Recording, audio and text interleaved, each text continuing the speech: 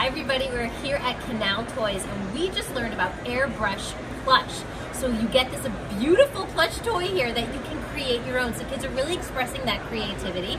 They're also using motor skills and fine motor control. You can put these stencils on and watch me paint some animal stripes right on this friend.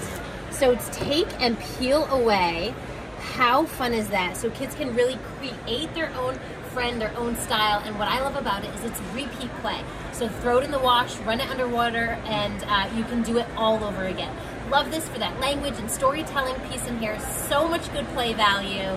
Airbrush Plush from Canal Toys.